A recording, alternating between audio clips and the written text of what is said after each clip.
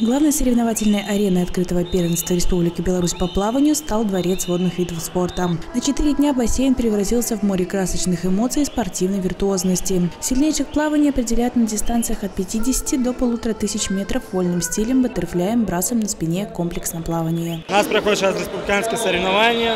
Четыре дня. Участников 339 человек. Отбираемся на первенство России или игры БРИКС который будет проходить в России. Здесь собрались сильнейшие спортсмены, потому что конкуренция высокая, очень интересные заплывы, борьба.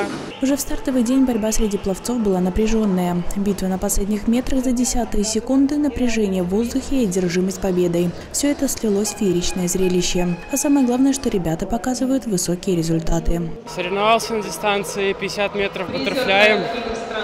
Выступление свое оцениваю достаточно хорошо, но, конечно, всегда есть к чему стремиться. Можно было лучше проплыть. Проплыла хорошо.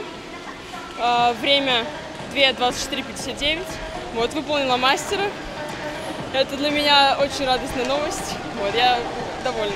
Работы было проделано очень много. Я безумно старалась. Безумно благодарна всем моим друзьям, родне, а, тренерам, кто меня поддерживал. Вот, ну, стремилась я к мастеру долго, вот, и наконец-то пришла к этому результату. Соревнования проходят до 10 февраля. Прийти и поболеть за своих фаворитов можно в любой день. Трибуны для болельщиков открыты. А победители первенства представят нашу страну в Обнинске с 8 по 12 июля 2024 года. Василина Буцкевич, Андрей Щерба, Юрий Лимонтович. Новости Бреста.